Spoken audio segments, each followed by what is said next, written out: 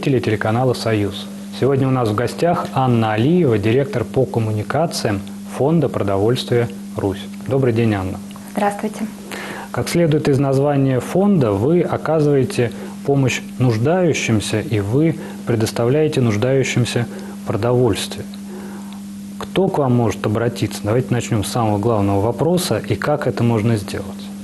Конечно же, хотелось бы ответить на запросы всех тех, кто хочет получить от нас продукты, но в первую очередь мы помогаем тем людям, которые оказались в трудной жизненной ситуации. Как правило, это все известные категории населения, это многодетные малоимущие семьи, семьи с э, детишками-инвалидами, неполные семьи, безусловно, те, кто нуждаются в помощи. Ну и, конечно же, пожилые люди, которые далеко не всегда а, могут сами себе помочь, и особенно если они оказались одни, без детей, без э, близких родственников, мы тоже стараемся им оказать такую помощь. Это касается жителей Москвы или других регионов тоже? А наш фонд работает по всей России, то есть мы планируем а, постепенно все 85 субъектов э, нашей Родины охватить, но раздача продуктов происходит там, где мы можем найти, собственно, этот бесплатный продукт. И Поэтому все желающие могут обратиться к нам в фонд за помощью, ввести в любом поиске фонд продовольствия Русь, вы попадете на наш сайт, где есть графа для нуждающихся. Там размещена карта пунктов выдачи продуктов питания с контактами. И вы, собственно, можете в своем городе посмотреть или в ближайшем месте, недалеко от вашего места жительства, куда можно обратиться за помощью. Конечно, пока мы не достигли того уровня, чтобы раздачи шли непрерывно, и в большом объеме, еще и чтобы меню мы составляли на день. Работаем с тем, что есть, но даже а, за такую помощь бывает, что люди со слезами на глазах нас благодарят. Это очень трогает, и ты понимаешь вообще ради чего ты, собственно, а, все это делаешь. Как давно фонд занимается такой деятельностью? Как фонд мы существуем с 2012 года. До этого были такие интересные шаги и попытки работы с разными видами товаров, которые списывают компании. Ну, списывают по разным причинам. Начинали даже с того, что бывала и мебель, и техника, оргтехника. Компания переезжает, они хотят в новом офисе видеть там, например, новые диваны, а старые абсолютно нормальные, пригодные, им деть некуда. вот они предлагали нашему маленькому проекту, на тот момент, на момент маленькому, забирать вот такие вот диваны, раздавать нуждающимся. Вот то, с чего мы начинали. Но а, в процессе работы выяснилось, что, оказывается, есть а, куда более масштабный а, фронт на котором можно развернуть свою деятельность. Это продукты питания и товары первой необходимости, у которых есть формальные признаки, ну, скажем так, формальные признаки, по которым их можно списать. Это сроки годности в первую очередь, ну и какие-то возникающие в процессе производства издержки, например, неправильный адрес на этикетке или, э, например, неправильного цвета выбрали там, упаковку, и все уже маркетинговый отдел э, заворачивает такой продукт, и его нельзя продавать. Вот такой продукт мы забираем и раздаем. При этом очень важно, что это, естественно, продукты только с хорошими сроками годности. Да, они могут истекать, то есть может, например, быть 5-10 дней до истечения срока годности, но тем не менее эти 5-10 дней, они есть обязательно э, для того, чтобы люди могли их употребить. Мы еще подробнее поговорим о том, как вы собираете эту помощь, но э, я бы хотел, чтобы вы пояснили. В одном из интервью, ну и, может быть, даже чаще, вы употребляете такую цифру, что в нашей стране больше 20 миллионов нуждающихся. Вообще, как это оценивать, насколько это критично и в сравнении с другими странами, насколько эта ситуация допустима? Ну, мы, конечно же, не обладаем такими э, грандиозными мощностями, э, чтобы um, делать э, расчеты по количеству нуждающихся. Мы можем только говорить о динамике некой, э, там, в зависимости от месяца к месяцу, насколько у нас э, увеличивается количество звонков и обращений. А цифры, которыми мы апеллируем, это официальные данные, которые варьируются там от 18 до 22 миллионов примерно. У нас вот так варьировалась цифра в последнее время которую давали и э, наши представители власти, в том числе и министерства профильные, и Росстат давал такую цифру. Э, да, мы, конечно, понимаем, что она велика, но и страна наша тоже велика, это все-таки самая большая страна в мире, и мы здесь никто из нашей небольшой команды работников фонда не склонны как-то скептически относиться к ситуации. Мы знаем, что во всем мире есть нуждающиеся, а в некоторых странах даже голодающие. У нас, слава богу, вот э, таких людей, которые действительно голодают, их единицы. И это какие-то из ряда вон выходящие случаи, когда у человека прям нет корки хлеба для того, чтобы насытиться, и у него там аж болезни даже какие-то возникают на фоне голодания. А есть страны, которые действительно а, очень серьезно переживают большие трудности, и люди миллионами, сотнями тысяч не имеют пропитания и не имеют возможности ежедневно поесть. Ну, в первую очередь, это, конечно, африканский континент. Ну и, естественно, случаи такие, когда возникают какие-то стихийные бедствия или военные действия, вот в этом случае появляется острая необходимость в пропитании. Поэтому да, людей много нуждающихся. А, да, пока помочь мы не можем даже там десятой части этих людей, но тем не менее а, у нас есть куда э, двигаться и есть ресурс, что самое главное.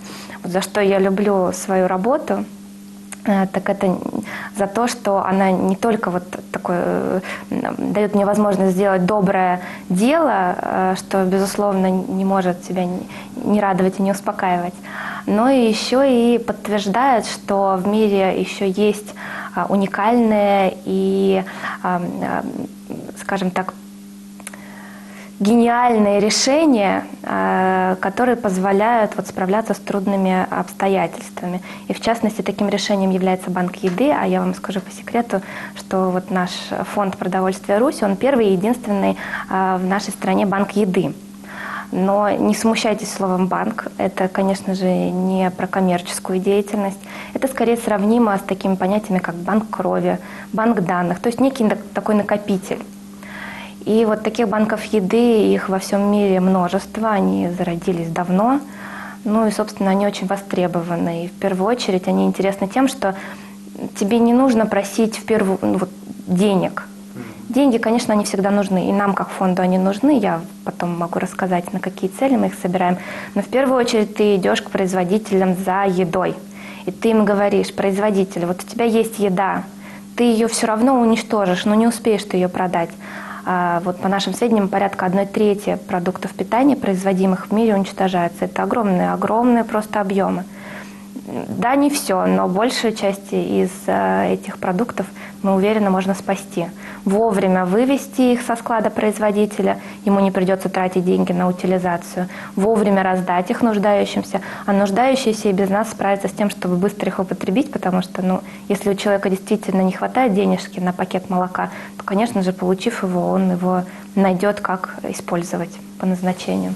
Все-таки вы привели сравнение с африканскими странами, а на Западе какова ситуация? Есть ли подобные банки и вообще есть ли там нуждающиеся?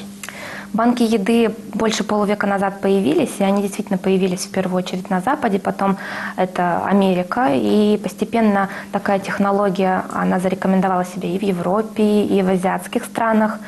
А в африканские страны очень много получают э, продовольственного, а, продовольственных товаров э, из Европы как раз таки. То есть там прям делают целые перевозки а, продуктов питания. Но надо сказать, что нуждающиеся действительно есть везде. И ситуация трудная жизнь, от нее никто не застрахован, как говорится, от сумы, от тюрьмы.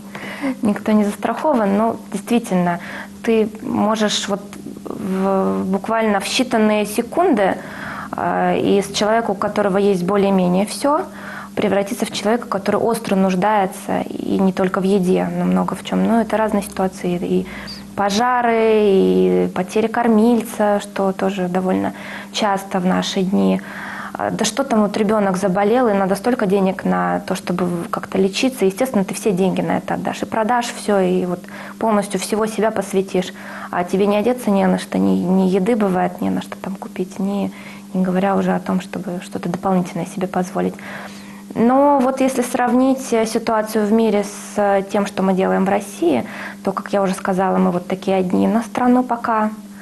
А, а, например, в Америке банков еды больше 200, хотя страна меньше. В Канаде больше 300. Практически во всех европейских странах есть хотя бы один банк еды, а в некоторых даже маленьких странах их несколько. В азиатских странах, в Китае есть банк еды.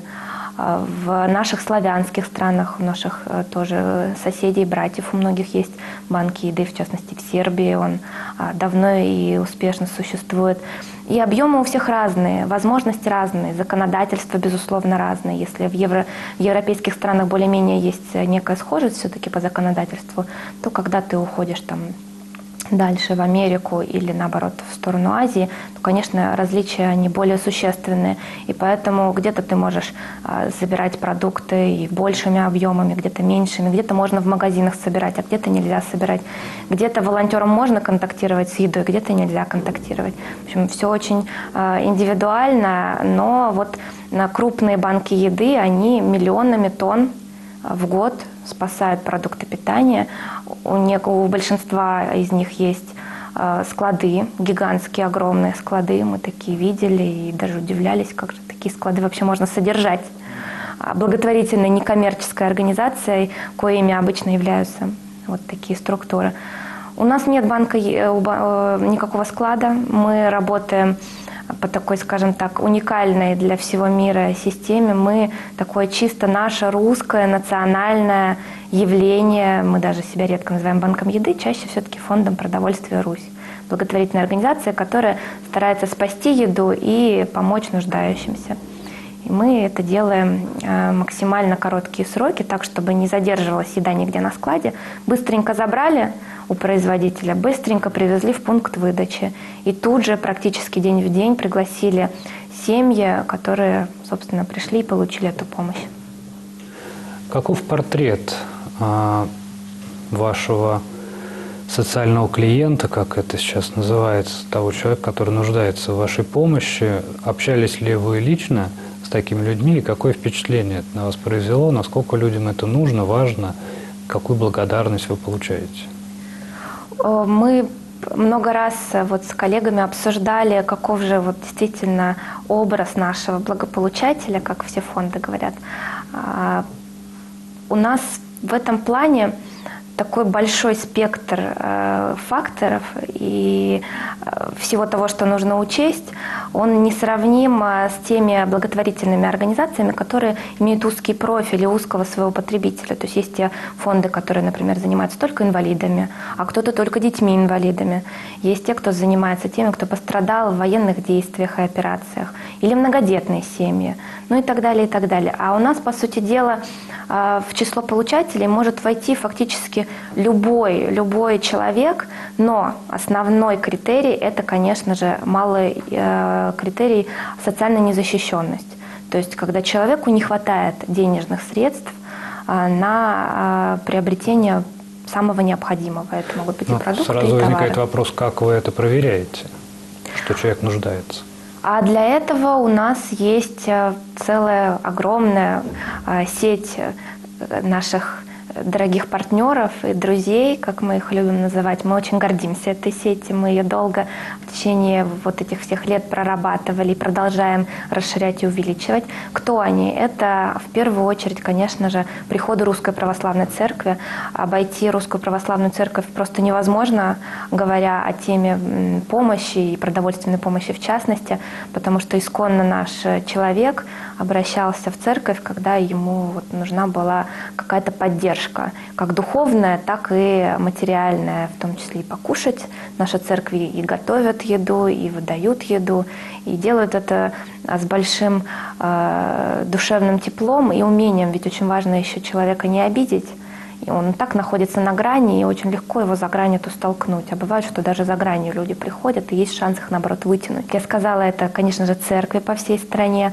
Потом это, а, безусловно, государство, Центр социального обслуживания, Министерство социального развития ряда регионов с нами плотно сотрудничают, и мы на пункты вот эти центров а, социального обеспечения обслуживания граждан приспосабливаем под вот такие пункты выдачи продовольствия.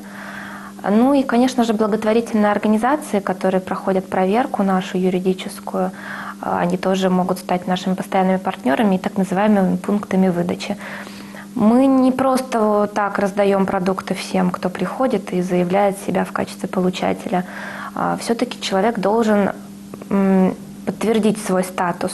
И подтверждение, оно, естественно, индивидуальное и разное в зависимости от категории. То есть если это, например, пожилой человек, то он а, должен иметь ну, и пенсионное удостоверение, и статус малоимущего. Как правило, пожилые люди малоимущие, они стоят в центрах социального обслуживания, и, соответственно, министерство знает, кто они, знает их наперечет.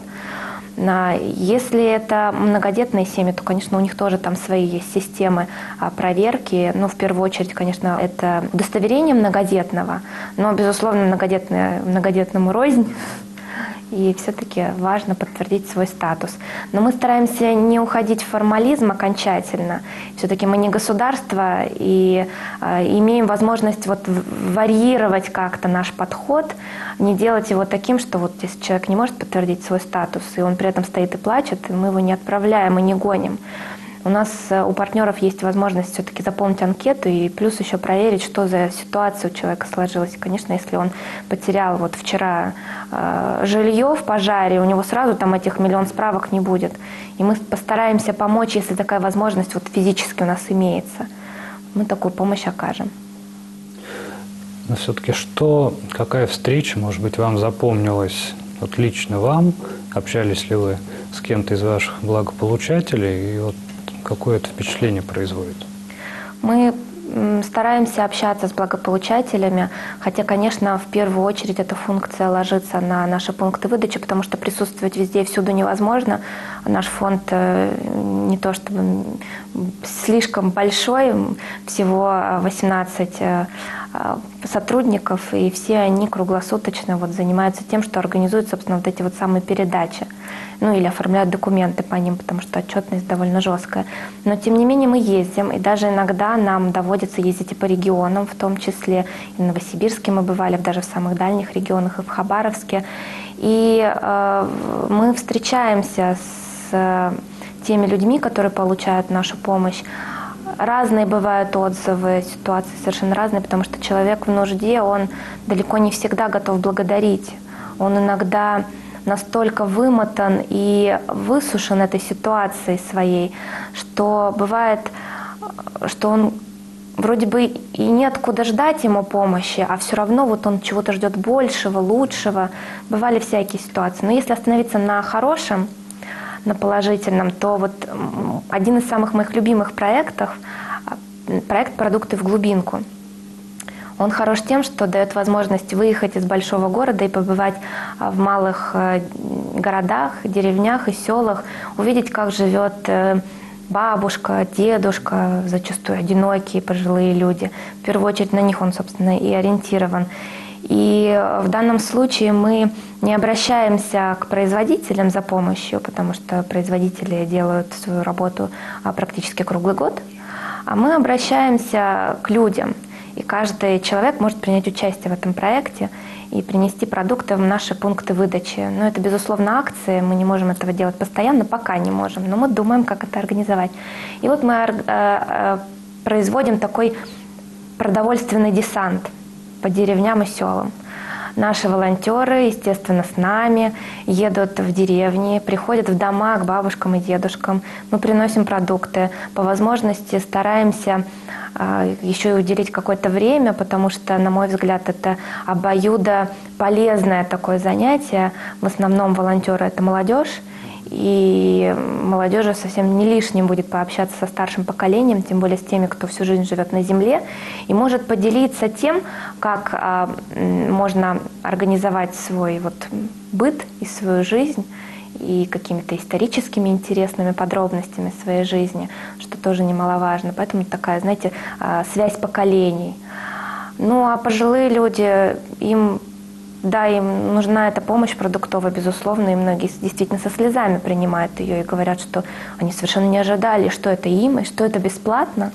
То есть прям такие вот вопросы, и ты на них отвечаешь, конечно, умиляешься, потому что вот можешь хоть что-то сделать полезное в своей жизни. Но они, конечно, очень хотят пообщаться. Им очень важно э, рассказать о том, как, как вот проистекает их жизнь, задать им вопросы какие-то. Они расскажут о, о своих детях. У некоторых есть даже дети, которые бывают вот годами не приезжают к, к своим старикам. И да, это очень грустно, и наши вот ребята, волонтеры, многие прям удерживают еле-еле слезы, потому что ну, не хочется плакать при бабушке лишний раз ее вот на негативные эмоции тоже дополнительно вот как-то провоцировать. Наоборот, хочется выслушать, показать сочувствие, но при этом потом перевести на какую-то добрую положительную тему, рассказать о себе что-то интересное, о том, как вот вообще акция вся эта проходит, и где мы побывали, и что интересно мы вам увидели. И бывает, что даже пожилые с большим э, нетерпением и радостью выслушивают личные истории волонтеров. Недавно была у нас такая программа, когда мы кормили бездомных на вокзале. Кстати говоря, бездомные – это тоже одна из наших категорий которым мы стараемся помогать. И для того, чтобы вот эту помощь оказывать, мы сотрудничаем с организациями, которые кормят бездомных. Они знают, как это делать, они это делают профессионально. И еще оказывают целый комплекс услуг. То есть они могут и с документами проконсультировать, помочь, и там, одеть, и подлечить, если это требуется. И, кстати, большинство из них церковные, что, собственно, неудивительно.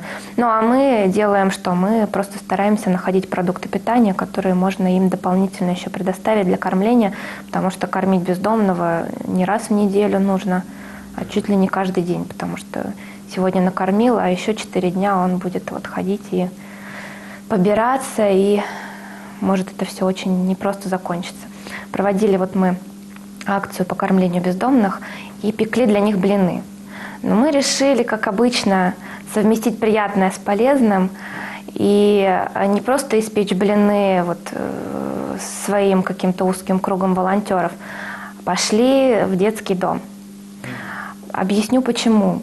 Хочется, знаете, как вот чтобы твоя деятельность, она была не только вот прикладная, накормить, ну и вот что-то вот изменить в душе человека. Безусловно, когда он получает помощь, уже что-то меняется внутри большинства из них, потому что они удивляются тому, что в принципе кто-то вызвался что-то дать бесплатное, они округляют глаза и не понимают, как, как это, что это, правда. В завершение нашей программы давайте подскажем, могут ли э, как-то наши зрители в своем частном качестве оказать вам какую-то поддержку.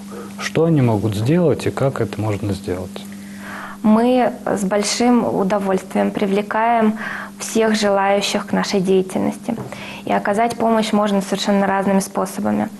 А, люди могут прийти и купить продукты в магазинах, пожертвовать нам их прямо вот на территории магазинов.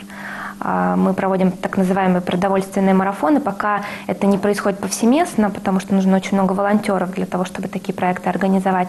Но, тем не менее, можно следить за информацией в наших социальных сетях и за информацией на нашем сайте. Продовольственные марафоны в разных магазинах, всех самых известных, у нас проходят.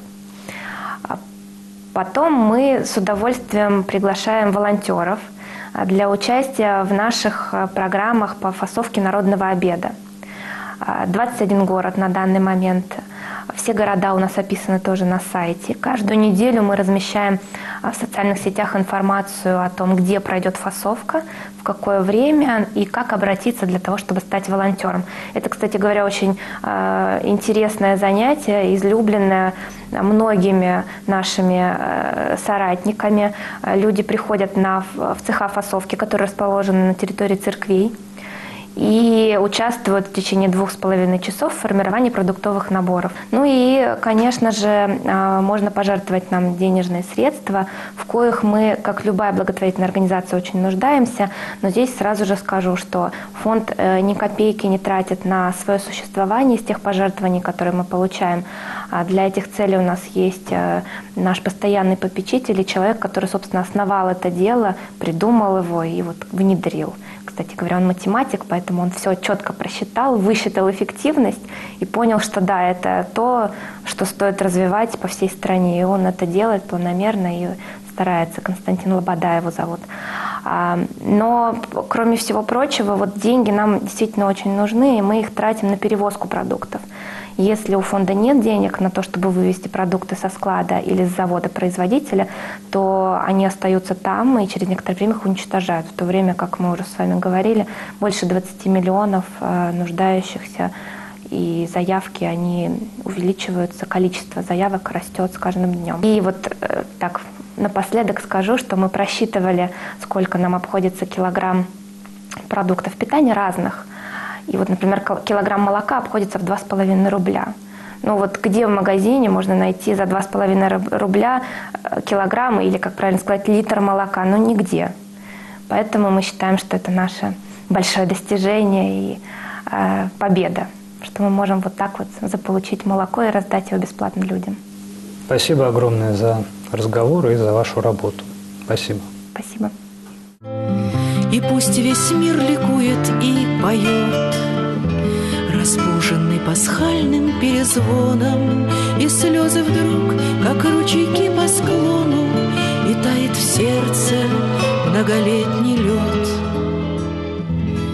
Так пусть весь мир ликует и поет.